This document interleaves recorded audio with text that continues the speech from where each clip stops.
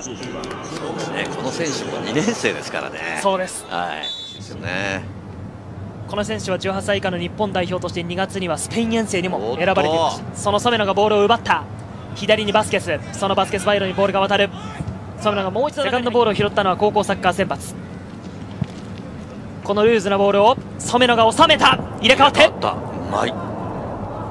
体の使い方がうまいですね。ああそうです入れ替わりがね再びチェックに行く。プレスに行く。高校サッカー選抜。きますこのシーンですね。北澤さんどんなところがうまかったですか？いやもうディフェンスのフェイント入ってますからね、えー、ぞというように大きな声をしました。追加点のチャンスになる。染野にボールが行く伸びる左足。コーナーキック今のワンシーンでもこの染のその身体能力といいますか、ね、やっぱ届く届かないところですけどもね、ぐって体がやっぱ伸びてきますもんね。そしてそれを見越したこの10番の西川のパスもありました。いいですね。ここに来てスリートップが生きてきましたね。ファーサイド、そのバスケスにボールを入れる。来るかな。自分で行く、切り返して。ちょん。染野の前にボールがいった。切り返して。左足。来た。西川ヘディング。斜めに入れていくボールが押し戻される。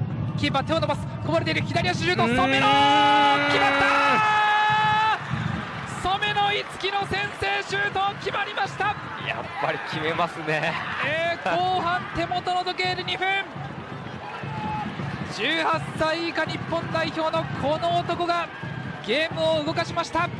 とも少々序盤からこれね難しい対応だと思うんですよね、佐々木選手ですけどねキーパーね